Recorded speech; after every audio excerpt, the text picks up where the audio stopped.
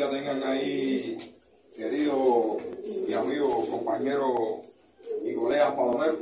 Mi nombre es Luisito del Perú. Muchos de ustedes me conocen acá en la isla eh, por las publicaciones que he hecho en Facebook y eso, y, y porque llevo muchos años en la Paloma. Eh, hoy nos encontramos acá en el Palomar de Jordani, eh, Jordani Cachupín, el cual es amigo mío y de muchos de ustedes lo conocen aquí en la isla también. Eh, el motivo de esta entrevista, de este videito, de este pequeño video, es la previa de un video que saldrá eh, más adelante, que es un trabajo que quiero hacer con varios palomeros, el cual estoy pidiendo la colaboración de todos ustedes, que aquel que quiera difundir eh, su palomar en las redes sociales y que se conozca el trabajo que se está haciendo, me pueden contactar, nos ponemos de acuerdo y totalmente gratuito, no es con fines de lucro ni nada, es simplemente para elevar la cultura eh, de la paloma en la isla y que el mundo conozca que en la isla también habemos criadores de palomas que más o menos o un poquito más que otros eh, nos gusta la paloma y, y, estamos en busca del palomo ladrón, es decir, eh, estamos desarrollando la paloma acá en la isla. lo encontramos en este palomar, antiguamente era el palomar del Asia, Jordani adquirió esta propiedad nos dimos la tarea primeramente de reestructurar el palomar, hacerle unas cajoneras que luego se las voy a poner en otras ediciones. Hicimos arriba un tabiado de, 12 cajones y acondicionamos el palomar este como ustedes lo están viendo aquí y trasladamos las palomas aquellas de Dani para acá. Decirle quiero que en este palomar eh, hay palomas de la línea de Cerrito el Cristalero y de Nycol de San José. Eh, por ejemplo, eh, se trajeron palomos de La Habana, y Dani los tiró por allá.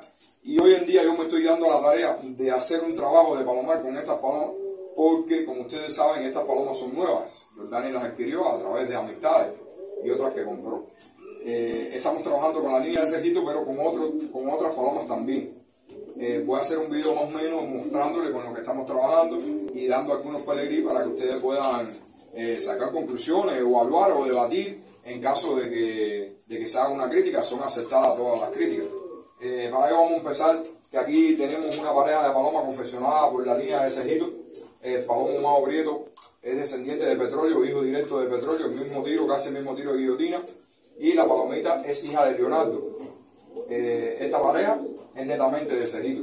Esta otra pareja que está acá abajo es el Gavino, que viene, es hijo directo de un hijo de el Gavino de Manino con una paloma de monito cotorro y la palomita ceniza es cajebola. Esa palomita tiene una hermana que luego le voy a decir el pelegrín. Por acá arriba esta palomita viene de, de los blancos de cejito, el entra el moteado de totó y, y con la loca.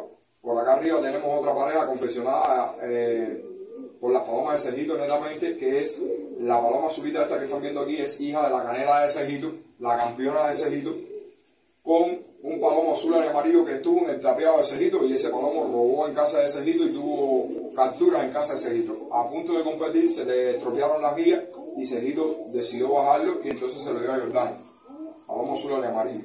Esta pareja es confeccionada por una, unas palomas que adquirió Jordani por allá por San José y la paloma blanca y el palomo azul empedrado. Este palomo eh, es un palomo que es el padre del sucio de Joandri que con la sucia mía que Palomo tuvo unas cuantas capturas. Y la palomita azul y blanca mosqueada es una palomita que ya ha ligado con dos o tres palomos. hay palomeros como Alex Cartero en que voló un pichón de ella. Esta otra pareja que tenemos aquí es el F2 con una paloma de la línea Cerrito. Y aquí estamos vinculando dos líneas de tiros abiertos. Una línea de, de Tito que se volaba el 10 de octubre. El palomo cogió 45 capturas con una paloma de Cerrito. Eh, vamos por acá, tenemos aquí a Flecha, que estamos vinculando, el Flecha y el F2 son del mismo palomar, y esta palomita azul es la palomita eh, de la línea Cerrito de los Caragolas, y la estoy combinando con el, con el Flecha. Ya con el Flecha y esta biselada que está acá arriba, yo volé un palomo en 37, un pichón, que voló muy bien, tenía muy buenas actitudes y le hice una captura. Abajo están los corredores que tienen huevos de alguna de esas parejas, porque he repetido los tiros, eh, varias veces, eh, dos veces, repetir los tiros porque me gusta repetir los tiros para poder evaluar. A veces una sola, una, sola de pichones no te determina la calidad de, de una pareja de palomas. Tenemos cinco dedos en la mano y ninguno se parece. y a veces tenemos familiares que no se parecen a nosotros, pero sin embargo la genética lo lleva por dentro y eso es el trabajo del palomero. Tratar de buscar y enfocarnos en seleccionar un palomo que sea funcional para el entorno donde nosotros nos desarrollamos. Nada, mi gente, quería solamente llevarle este pequeño vídeo para que ustedes vean más o menos el trabajo que se está haciendo aquí en el Palomar de Verdad, al cual estoy a cargo de, y lo estoy representando acá en la isla. Y nada, mi gente, un saludo tengan todo ahí y esperen en próximas ediciones eh, otros trabajos.